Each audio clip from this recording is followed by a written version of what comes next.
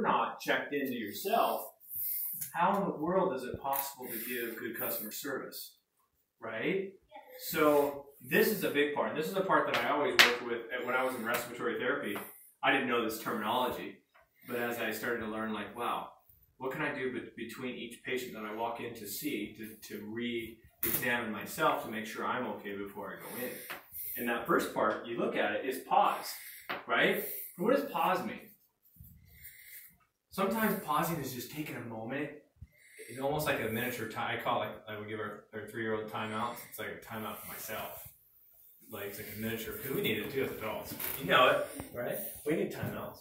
And so it's taking a moment to just calm the mind, right? It's, it's just taking a moment of it. And you know, they've done studies on that too, where taking a deep breath actually calms the nervous system, right? Mm-hmm. The paranervous system that responds to fight or flight. What do we do?